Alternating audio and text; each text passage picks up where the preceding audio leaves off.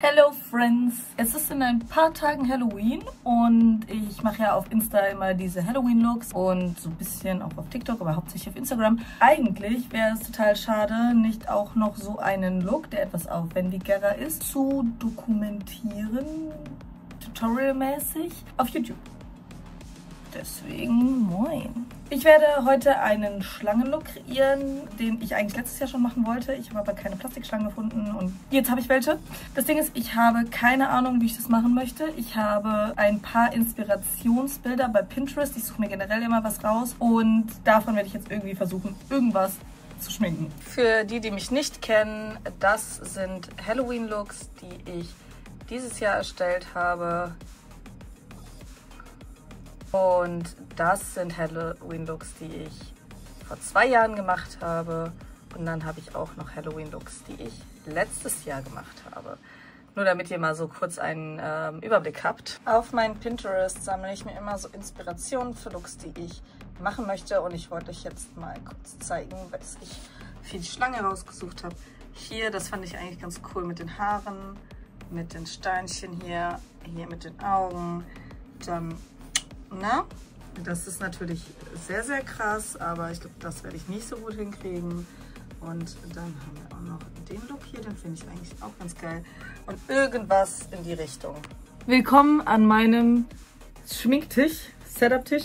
Hier ist noch äh, Kreppband von dem Look, den ich gestern gemacht habe. Da war ich auf TikTok live. Der Look kam jetzt, Moment, ich muss ja nachdenken, wir haben ja Sonntag. Dann kam er am Dienstag raus. Angefangen mit naja, ich habe noch äh, Schminke drauf. Die muss ich jetzt wegmachen. Ein Eyeliner oder wir lassen den Eyeliner und arbeiten damit. Guck nochmal auf meine Inspirationsbilder. Ich glaube, wir können mit dem Eyeliner arbeiten. Ich glaube, der stört nicht groß.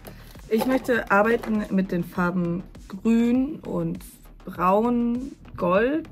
So in dem Stil. Ich habe hier so ein paar Schlangen, die ich mir irgendwie ich, ich weiß es noch nicht. Also, bei einem Halloween-Look ist es so, ich habe nie Schnall. Ich habe keine Ahnung, wie ich anfange, wie, wo ich rauskomme. Ich mache einfach und ihr seht jetzt so ein bisschen den Prozess werde jetzt erstmal meine Augenbrauen abschminken. Da habe ich nämlich eben ein bisschen was drauf getan. Ein bisschen hier. Ich habe mir Sommersprossen geschminkt. Die würde ich auch einmal wegmachen. Natural Blush. Ich würde jetzt einfach mal die Augenbrauen anfangen zu schminken in einem grünen Schwarz. Als erstes klebe ich mir die Augenbrauen fest mit diesem Got to Be Labor. Gar keine Ahnung, ich habe gar keine Ahnung, was und wie wir machen. Aber dafür nehme ich halt eine Lidschattenbase. Da habe ich diese vegane Naturkosmetik Lidschattenbase von DM aktuell. Ist aber scheißegal welche. Also ich muss euch jetzt nicht unbedingt zeigen, welche ich davon benutze, weil im Endeffekt funktionieren die alle sehr gut. Es gab mal so eine von Catrice. Die war der Wahnsinn. Oder Manhattan. Nee, Catrice war der Wahnsinn, aber irgendwie stellen die die nicht mehr her und ich bin seitdem sehr traurig und alles ist doof. Aber egal. Ich mache das dann so, dass ich das dann so äh, einreibe und dann mit dem Rest, was ich an den Händen habe, diesen abgeschrägten Pinsel noch mehr abschräge. Also so, dass der ne, so ist. Und jetzt werde ich einfach mal los pinseln mit Schwarz. Ich halt einen Verlauf auf jeden Fall in die Augenbrauen bringen. Deswegen also werde ich halt den dunkelsten Ton, den kommt halt hier in die Ecke. Und ich gehe so ganz sanft, leicht, äh, ein bisschen nach vorne am Eyebrow Cut vorbei. Äh, da habe ich übrigens einfach nur so einmal drauf gestempelt, damit dann also zweimal, damit diese Striche da sind, damit dann eine vernünftige Cut ist. Und jetzt nehme ich grün und mal immer wieder erstmal über die dunkelste Stelle, weil an dem Pinsel ist ja noch ein bisschen schwarz. Dadurch ist das alles noch ein bisschen dunkler. Und da mache ich jetzt erstmal den Übergang. Jetzt brauchen wir einen Pinsel, der relativ sauber ist. Nehmen wieder grün und malen hier einmal weiter nach vorne. Noch mit einem recht dunklen Grün, recht intensiven Grün. Und dann malen wir wieder über den Bereich, den wir eben gemalt haben, damit das so ein Verlauf ist. Ich erkläre das jetzt hier alles mal so ein bisschen weniger witzig und ein bisschen mehr strukturierter, damit äh, ihr das auch versteht, was ich hier mache, weil ich auch sehr oft gefragt werde, wie ich meine Augenbrauen mache mit Verlauf. Und dann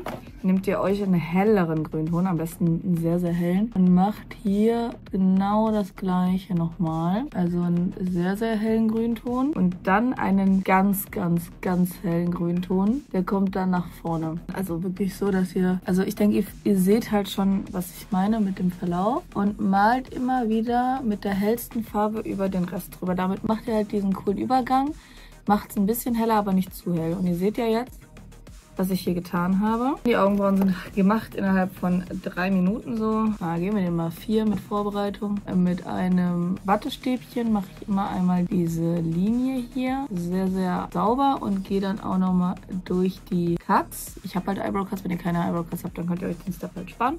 Und fertig. Normalerweise nehme ich jetzt noch einen Concealer und mache das dann noch mit einem dünneren Pinsel ein bisschen gerade, aber das ist jetzt gerade sehr, sehr unnötig, weil das wird eher alles ein bisschen mehr Halloweeny und da müssen wir jetzt nicht so super krass Profit arbeiten. Alright, als nächstes würde ich jetzt einfach mal hier eine dicke Lidschattenbase drüber ballern und auch anderen Seite und ich glaube, wir werden sehr viel Lidschattenbase brauchen. Nicht nur an den Augen, sondern generell in meinem ganzen Gesicht, weil ich will diese Schuppen auf jeden Fall machen. Ja, schon mal, glaube ich, so einen schuppigen Halloween-Look YouTube hochgeladen, wenn ich mich gerade recht entsinne. Und tupfen, einfach mal ein bisschen das Gesicht hauen. Video ist sehr viel anders als das, was ich sonst hochlade, äh, weil es doch ein bisschen mehr Tutorial-mäßig ist, bisschen weniger witzig. Aber ist ja auch hier ernst, ne? Es ist Halloween. Leute, es ist Halloween. Also noch nicht, aber bald, in ein paar Tagen. Und jetzt brauchen wir einen Pinsel, der sauber ist. Der ist nicht sauber, den muss ich jetzt erstmal so ein bisschen säubern. Der ist nämlich noch rot. Und ich bin, bin eine Sau. Ich mache meine Pinsel viel zu selten sauber. Ich weiß, dass das schlecht ist und weiß doch, Bitte meckert mich nicht zu sehr an. So, Pinsel ist einigermaßen sauber. Jetzt mache ich einfach mal grün hier so hin. Wir trusten the process. Ich habe jetzt hier erstmal so ein dunkleres Grün. Das, was auch in den Augenbrauen ist. Und ich habe hier sogar noch ein dunkleres Grün. Und mache jetzt mal mit so einem Mittelgrün. Oh, ich liebe grünes Make-up, ne? Ah, da will man direkt wieder grüne Haare haben, damit man wieder grünes Make-up machen kann. Aber wir sind gerade erst zu lila gekommen, also bleiben wir da jetzt auch erstmal. Auf jeden Fall nach oben hin immer wieder eine hellere Farbe Farbe nehmen, damit wir so einen Verlauf kreieren. Hier in the corners auf jeden Fall auch heller. Nehme ich so ein helles grün-gelb. Und das mache ich so ein bisschen hier hin. Erstmal. Dann kommt jetzt hier unten noch ganz viel grün hin. Das ist, glaube ich, auch mein erster grüner Halloween-Look dieses Jahr. Ich hatte letztes Jahr, glaube ich, eher doch letztes Jahr habe ich Joker's Sister gemacht und das Jahr davor habe ich Shigo. Ich habe jetzt hier so eine richtig coole UV-aktive Palette. Und hier haben wir so ein UV-aktives Grün, was ich so ein bisschen hier hin machen würde. Und ein UV-aktives Gelb, was ich hier in die Spitze machen würde. Und dadurch, dass ich halt grün am Pinsel habe, wirkt es auch nochmal eine Ecke grüner. Da ist übrigens keine Lidschattenbase. Also diese Palette hier ist extrem krass. Das ist die von Aflano von Amazon. Die hat mich 20 Euro gekostet, glaube ich. Und die ist es auf jeden Fall sehr wert, weil es auch sehr UV-aktiv ist. Jetzt geht es an den Highlighter. Wo ist mein Highlighter? Von Luna Glow. Das hat mir eine damalige Freundin geschenkt. Äh, den benutze ich einfach seitdem einfach immer. Hier haben wir so ein Gelb und so ein Silberton. Und damit mache ich jetzt hier auf jeden Fall ein bisschen more shiny. Okay, jetzt geht's ans Eingemachte und zwar einmal das Fallout wegmachen, also der Lidschatten, der hier die ganze Zeit runtergebröckelt ist. Jetzt geht's ans Contouring und an die Schuppen. Contouring würde ich auch in grün machen und nehmen den Pinsel, den wir hier haben, nehmen grünen Lidschatten und konturieren meine Nase. Trust the process, I guess. Ich muss ja auch ein bisschen trusten, dass es gut aussieht. Hier der Bereich. Ja, ich habe gerade einen sehr, sehr kleinen Pinsel.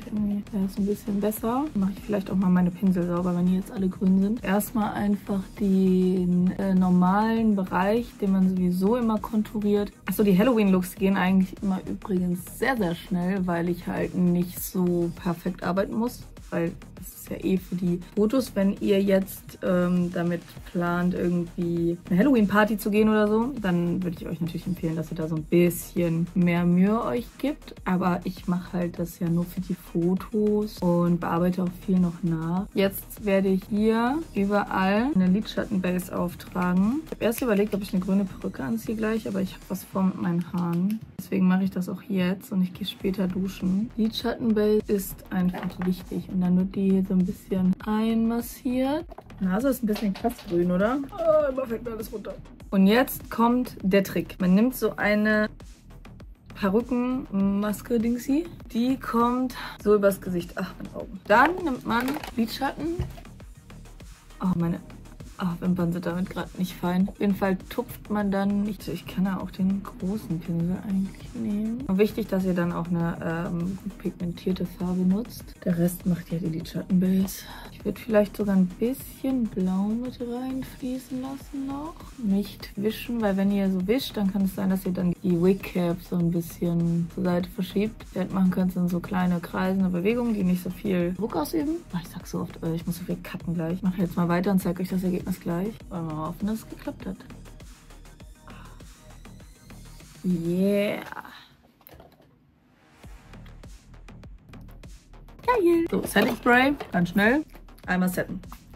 Oh, geil. Jetzt Lippen. Gerade überlegt, ob ich einen Rollkragenpulli gleich anziehe. Ich habe ein bisschen Angst, dass ich mein Make-up damit kaputt mache. Und ich nehme dann immer so einen Eyeliner Oh, der ist ja krass ausgetrocknet. So eine Linie, damit das so ein bisschen, damit das ein bisschen mehr nach einem Smile aussieht. Dann noch Kajal. Es läuft erstaunlich gut. Ich dachte, ich bin hier voll am struggeln, aber nein. Ach so, äh, wenn ihr Kontaktlinsen tragen wollt zu so einem Look, dann macht die Kontaktlinsen vorher rein. Trust. Weil sonst weint ihr und dann schmiert ihr euer ganzes Make-up. Ich werde aber keine Kontaktlinsen reintun. Ich werde das meine Augen bearbeiten. Das ist jetzt erstmal der Look. Ich ziehe mal kurz einen Rollkragenpulli an. So, das hat erstaunlich gut geklappt. Jetzt geht's an die Haare. Ich habe eigentlich noch Haargel hier, aber hat schon mal mein Ex-Freund mitgenommen, als er ausgezogen ist. Aber er hat auch was hier vergessen, als er ausgezogen ist scheinbar. Und das ist so ein Haarwachs. Und damit will ich mir jetzt so ein bisschen die Haare halt so hier so dran kleben. Dafür trenne ich das jetzt so ein bisschen ab. Den Rest mache ich zusammen. Und ich wollte halt den Look die Tage schon machen, aber ich war vorher schon duschen. Und dann war ich so, nee, da muss ich nochmal duschen gehen. Das ist voll kacke, weil auch so mit Haarfarbe, dann musst du halt dann die, Haare wieder nachfärben, dies, das. Oh, das ist aber, aber hart. Das ist auch Haarwachs, ne? Aber ich mache das jetzt einfach hier in the hair. Ich mache jetzt erstmal die paar Strähnen. Wie gut das läuft. Ich dachte, das wird voll das Opfervideo, voll lustig und haha, die kriegt nichts auf die Kette. Aber es läuft einfach, Leute. Ich bin richtig schockiert. Egal, dann wird das halt ein professionelles Tutorial. Auch gut. Semi-professional. Riecht auf jeden Fall ganz geil. Zu viel Haare. Okay, jetzt versuche ich das irgendwie an meinen Kopf zu kleben. Das klebt nicht. Oh nee, das klebt gar nicht. Nee. Oh nee. Oh nee, ich hab's gejinxt. Klar, dass irgendwas nicht funktioniert. Ich aber nur, es geht ein bisschen. Ich habe kein Haargel hier. Soll ich so noch einkaufen gehen? Haargel kaufen? Ich überlege mir was anderes. Kann ich das irgendwie so... Sieht das cool aus? Trotzdem? Nee, ne? Scheiße, ich überlege mir mal was. Ja, äh, meine Haare sind jetzt einfach nur klatschig, aber das ist okay. Ich lasse es jetzt so. Mache mir hier aus dem Dutt, den ich hier gemacht habe, ein bisschen mal so Messy Bun. Jetzt werde ich das Setup aufbauen, in dem ich das Bild machen werde. Ich habe jetzt einen schwarzen Pulli an und grünes Make-up. Das heißt, ich werde meinen Greenscreen jetzt aufbauen und den als Hintergrund nehmen. Dann werde ich irgendwas mit den Schlangen machen, das Foto. Das zeige ich euch jetzt auch. Also ich habe hier nämlich meinen Greenscreen. Den kann man nämlich einfach so hochziehen. In das Ringlicht stelle ich nämlich das Handy rein. Und dann haben wir hier so eine Beleuchtung. So eine Beleuchtung. Das ist richtig so scheiße in den Haaren, ne? So, von hier seht ihr ein bisschen besser das Setup, wo wir uns jetzt gleich befinden. Ich habe jetzt noch so ein cooles Licht, was ich auch verwenden werde. Ähm, und zwar habe ich so Videolichter. Zu viele Kabel, zu viel Licht. Das ist mein Videolicht. Ich habe davon zwei, wir brauchen aber nur eins. Und ich habe hier, hier so Folien. Farbfolien. Und davon nehme ich jetzt grün. Die ganze Zeit lasse ich mir erzählen, was ich nicht wegkriege, ne? Ah, jetzt weg, okay. Ich habe noch ein extra extra Licht, aber ich weiß gerade nicht, wo das ist. Deswegen, äh, wir scheißen drauf, wir brauchen es auch nicht dringend. Aber das kann ich nochmal so einzeln immer in allen Farben einstellen, ohne Folie. Also das ist jetzt Tatsache äh, der Look, den ich gemacht habe. Ich dachte, er wird ein bisschen more creepy. Aber wir werden sehen, was in der Bearbeitung passiert. Beziehungsweise, ihr seht's genau jetzt. Wenn ihr nicht eh schon auf Instagram gesehen habt. Wow, diese Kamera ist damn. Das war's, Leute. Vielen Dank fürs Zuschauen. Ich hoffe, das hat euch irgendwie geholfen. So ein bisschen. Ich wünsche euch ein wunderschönes Halloween nächste Woche. Wir sehen uns auf meinen anderen Kanälen oder nächste Woche Sonntag hier. Kuss.